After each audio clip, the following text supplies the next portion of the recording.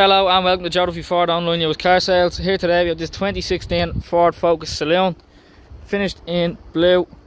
It does have a 1.5 diesel engine with 95 brake horsepower.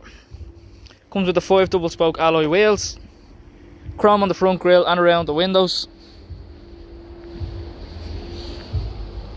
Fog lights front and rear as well.